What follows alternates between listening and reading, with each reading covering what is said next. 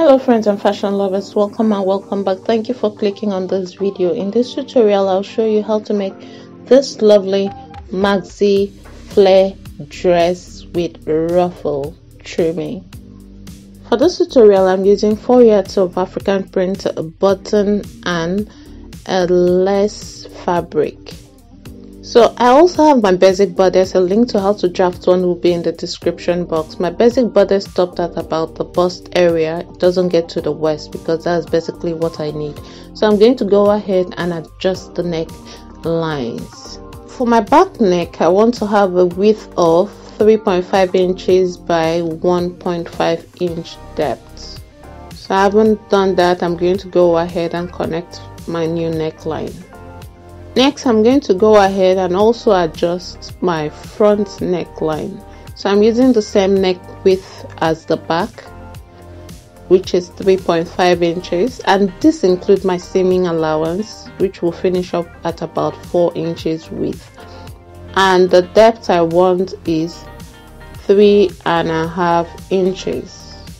So I'm going to go ahead and connect my new neckline as well so now where my lace will be or the yoke you can mark at least two inches from the chest line or you can check where your bust starts. To determine this part you can as well measure from your neckline how low would your neckline be. So like the lowest point of your neckline before your bust starts showing you can mark that.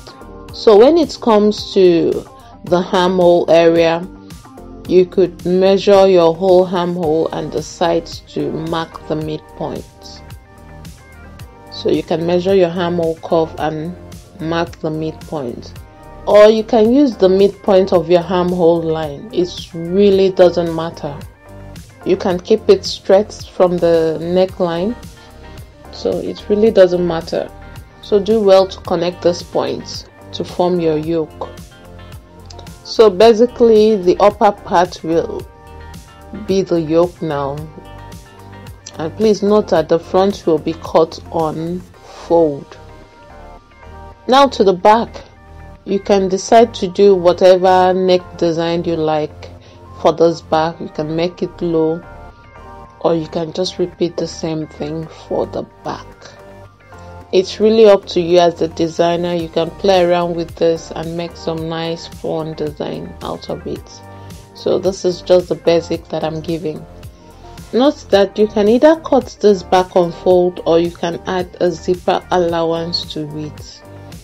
But just make sure that whatever you do you put into consideration that you'll be able to get in and out of this garment so my back and front is going to be on fold but the yoke part that I will include an opening to enable me get in and out of my dress.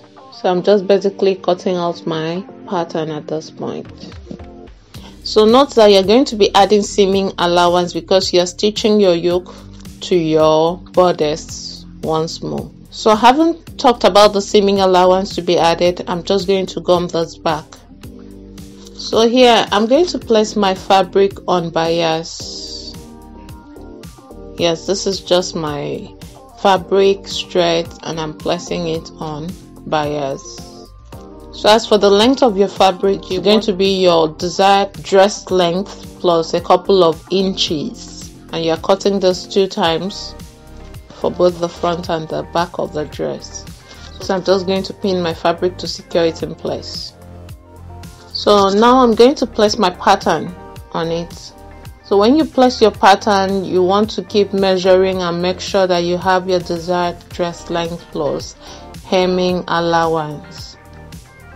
So you're going to start from that upper part that you have your shoulder and make sure that you have your desired dress length plus hemming allowance so like mine I adjusted my pattern a couple of times. Don't forget that you're cutting out the yoke part.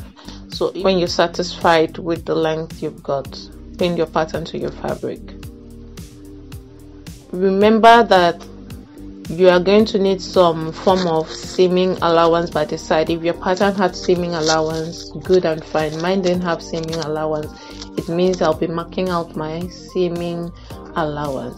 So starting from the up there i'm going to mark my desired dress length plus my hemming allowance. I'm just going to mark that out. My pattern did not have seaming allowance so i'm just adding seaming allowance next is for me to come down about two inches from that armhole line. Uh, this part is totally optional. I just wanted it to be slightly fitted up there. And i'm going to connect it to the hem of my dress. So you want to make sure that your ruler is as straight as it can be.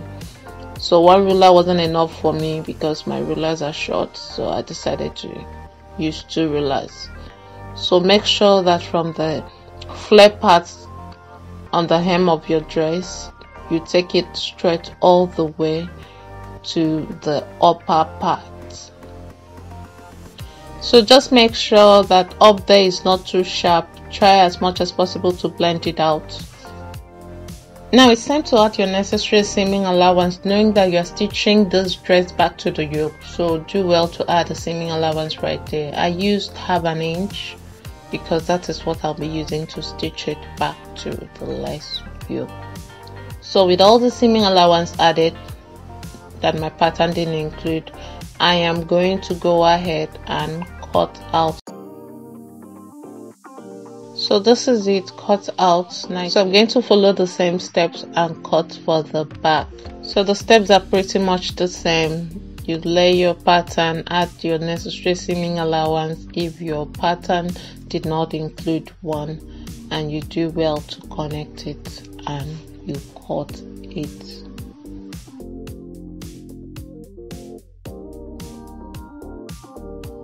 For my yoke I'm just going to add the necessary seaming allowance as well and cut it out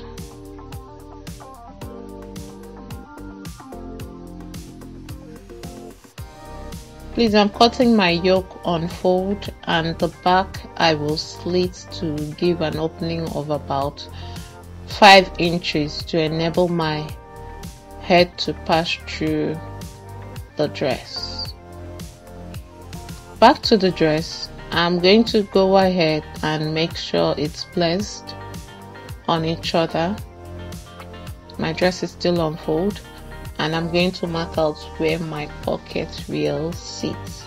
So from the armhole, you want to do well to measure between 8 to 9.5 inches. So depending on how high or low you like sticking your hand into your pocket. So mark that out. Is that 8 inches or 9 inches or thereabout just mark that and give it a notch because we're going to be adding a pocket to this dress.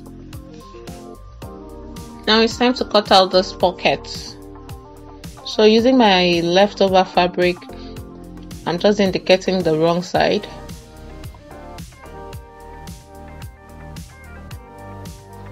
And I'm going to go ahead and mark 8 inches. You can do 7 inches. I just love the opening to include the seaming allowance as well. After that I'm just going to place my hand and follow my hand curve come up with something and that would basically be my pocket.